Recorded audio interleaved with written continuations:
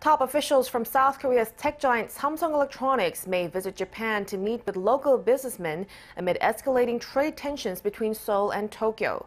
Local reports say that Vice Chairman Lee Jae-yong has had multiple meetings with key officials of Samsung's semiconductor arm and is considering a visit to Japan as early as Sunday.